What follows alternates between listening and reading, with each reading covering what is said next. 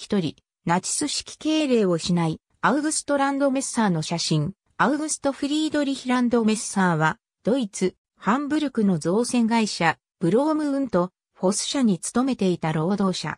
1936年6月13日、ドイツ海軍の練習艦、ホルストベッセルの浸水式において、ただ一人、ナチス式敬礼を行わなかった写真で知られる。アウグストランド・メッサーは、1910年5月24日、アウグスト・フランツランド・メッサー、ビルヘルミーネ・マグダレーナ夫妻の一子として、ハンブルク近郊のピンネブルク、モールレーゲー地区に生まれた。1931年職を得ることを目的に、ナチス党に入党する。1935年、イルマ・エクラーと結婚するが、イルマはユダヤ人であった。この結婚によりナチス党を除名される。二人はハンブルクで結婚登録をするが、それを妨げるかのように1ヶ月後の1935年9月15日、ニュルンベルク法が制定された。1935年10月29日、二人の間に長女イングリッドが誕生する。現在、ナチス式敬礼を一人拒否していることで有名になった写真は、1936年6月13日に撮影されたものである。1937年ランドメッサーとイルマはデンマークに亡命しようとしたが失敗し、逮捕された。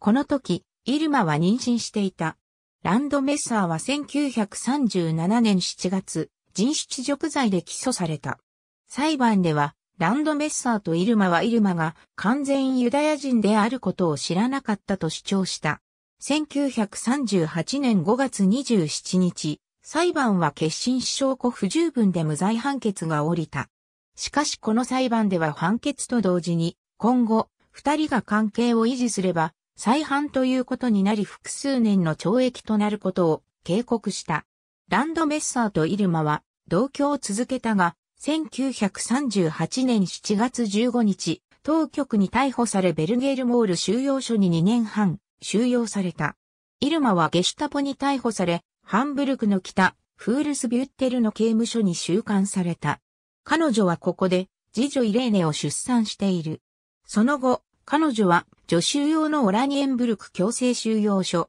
リヒテンブルク強制収容所を経て、ラーフェンスブリュック強制収容所に収容された。二人の娘は、私立孤児院に入る。その後、上のイングリッドは祖母に引き取られ、イレーネは1941年に孤児院から養女として引き取られた。戦後の1953年に祖母が亡くなった後は、イングリッドも養女に出された。1942年には収容所からイルマは娘に対して手紙を送っている。1942年2月、イルマはベルンブルク安楽死センターに送られた。このセンターは戦後の調査で約1万4000人を殺害したことが判明しているが、イルマもその犠牲者の一人であり、彼女の死は法的には1942年4月28日と認定されている。一方、ランドメッサーは1941年1月19日に釈放された。釈放後、運送会社に入る。この会社はバーネミュンでのハインケルベルケ工場の下請けであった。1944年2月、徴兵され、第999懲罰師団執行猶予大隊に配属される。ランドメッサーは戦闘中行方不明となった。1944年10月17日のクロアチアペリエシャツ半島のストン近郊における戦闘で戦死したと推定されている。イルマ同様に1949年に死亡が法的に認定された。1951年夏、アウグストランドメッサーとイルマ・エクラーの結婚は、ハンブルク上院により遡って承認された。そして、長女イングリッドは、その年の秋に、ランドメッサー姓に改姓した。次女イレーネは、母の姓であるエクラーを名乗っている。1996年、イレーネ・エクラーは、保護法1935年から1958年まで人種地族による家族の追求を出版した。このランドメッサー一家を描いた本は、実際に母イルマによって書かれた手紙をはじめとする当時の膨大な文書や記録を題材にして書かれた。上述のナチス式敬礼を拒否しているアウグストランド・メッサーの写真は、1991年3月22日、付、D サイト紙に掲載された。この人物が本当にアウグストランド・メッサーであるかは確定が難しい。